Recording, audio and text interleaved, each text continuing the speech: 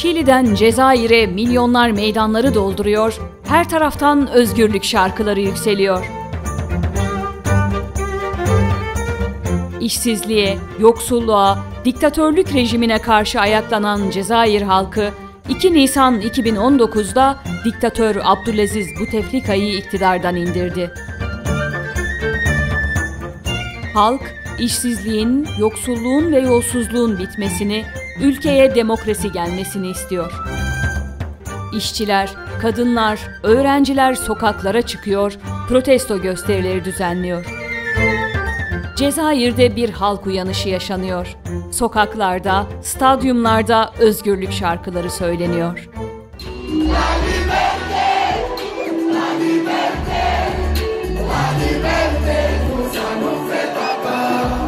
Tüm konuşmalarınız sahte. Artık biliyoruz. Ama bitti. Artık daha fazla kanmayacağız. Onların sesini duymuyor musunuz? Mutsuz ailelerin sesini. Geri ver özgürlüğümü bana. Özgürlük, özgürlük kalbimizde birinci sırada.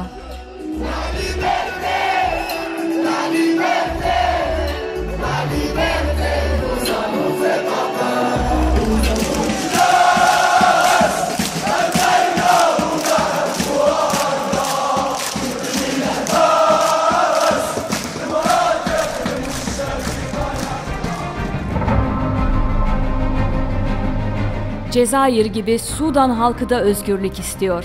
Cezayir'de başlayan isyandan güç alan Sudan halkı 11 Nisan 2019'da 30 yıllık diktatör Ömer el-Beşir'i devirdi.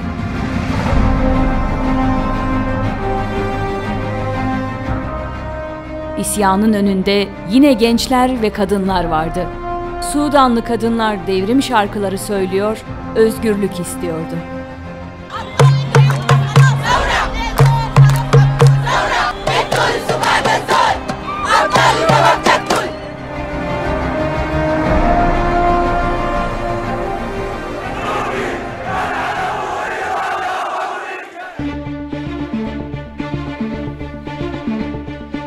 Irak'ta başlayan isyan ise hala sürüyor.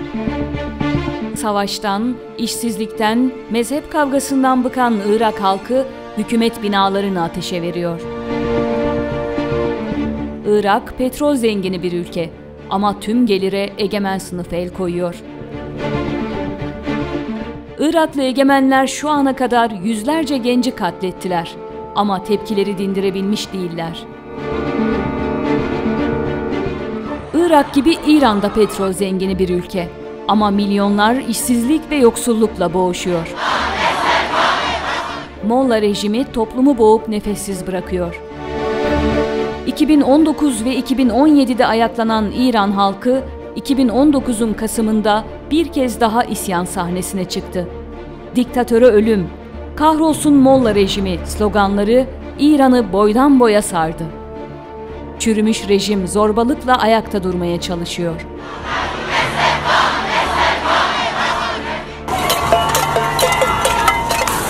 Lübnan'da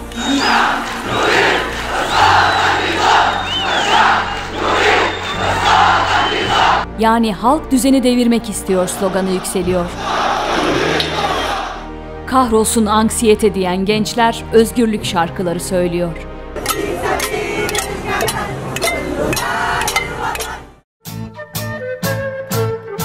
Şilili gençler No era depresyon, era kapitalizmo diye yanıt veriyor. Yıllarca boğuştukları sorunların sebebinin depresyon değil, kapitalizm olduğunu haykırıyor. Metro ücretlerinin zamlanmasına karşı başlayan protestolar hızla bir isyana dönüştü ve milyonlarca insan sokaklara döküldü. Cezayir gibi Şili'de de bir halk uyanışı yaşanıyor.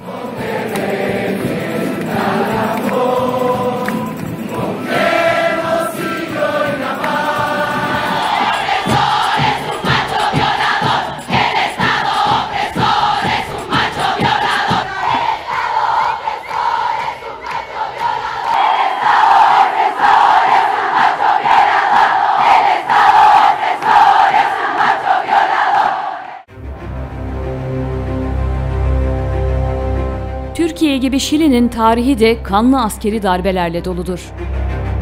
Şili halkı büyük acılar çekmiş bir halktır. 1973'te ABD emperyalizminin desteklediği ordu, işçilerden, emekçilerden, gençlerden yana olan sosyalist Allende hükümetini devirdi. Kurulan faşist rejim toplumu ezip baskı altına aldı.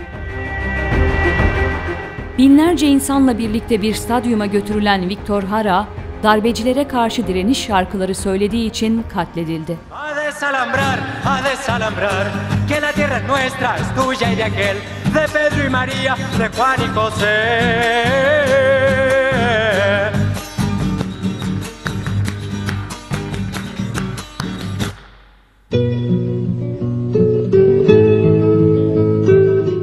Hara, tiyatro yönetmeni, müzisyen ve yazardı. Ama aynı zamanda kendisini dünyayı değiştirme mücadelesine adamış bir sosyalistti. Darbeciler Şili'de yaşamın sevincini katlettiler. Ama asla ezemediler direnç çiçeklerini. Şili Geceleri şiirinde Elif Çağlı bu direnci şöyle selamlıyordu.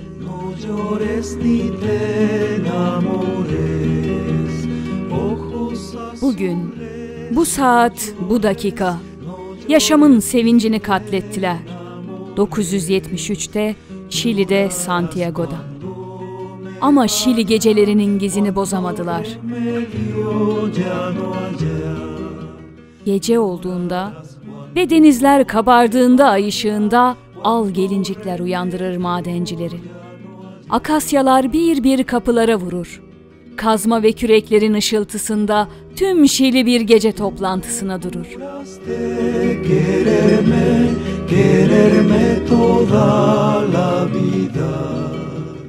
Boz buğdaylar neşeyle sallar başaklarını. Toprağın kökleri Şili göklerine karışır.